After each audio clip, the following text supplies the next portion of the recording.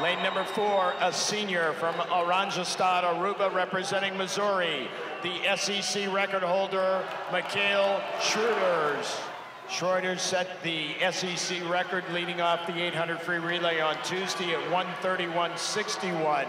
That is currently second in the nation. Halfway through, Howard and Schreuders, uh, three one hundredths of a second apart.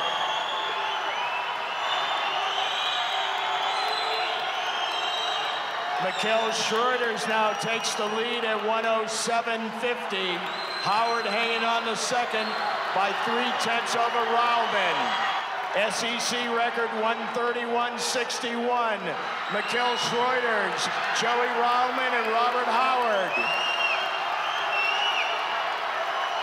Mikel Schreuders, 131.27.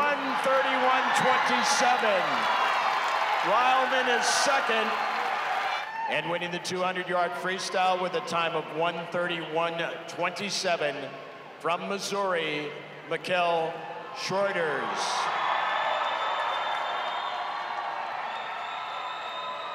Schreuders breaks his own SEC record and now has the two fastest 200 freestyles in SEC history.